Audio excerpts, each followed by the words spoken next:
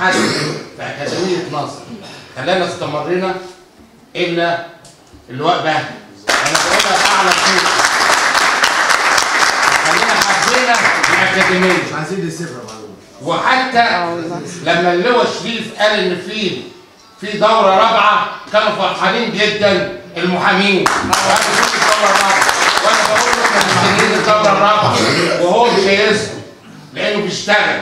وشغله هو اللي بيظهره. مفيش حاجة تانية بتظهره. ما عندوش كوسه ما عندوش معارف. عنده عمل عنده ايده عنده شغله. هتستمر. والناس كلها هتستمر معاه وهتستمر كلية الدفاع ناجحة ومرفوعة الرأس. موجوده كتير بشكر طبعا كل الوقات ال- الموجودة معانا. أنا طبعا بشكر اللواء حسام أنور ده يعني إحنا مش شفناه أول مرة دلوقتي.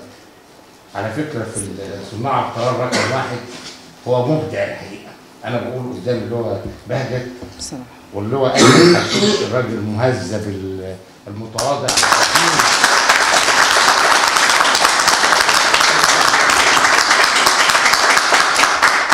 أنا بقول لكم الناس دي كلها كويسة عشان القائد بتاعهم كويس. طبعا.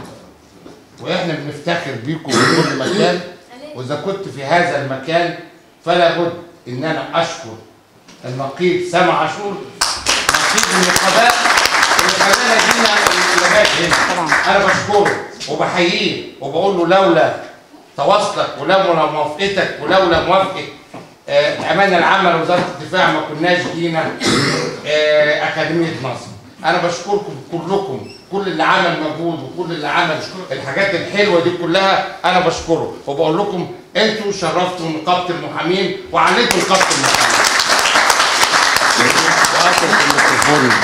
نشكرك أنت لسبب انت قافل مكتبك وسايب مكتبك وسايب مصالحك وسايب شغلك عشان خاطرهم.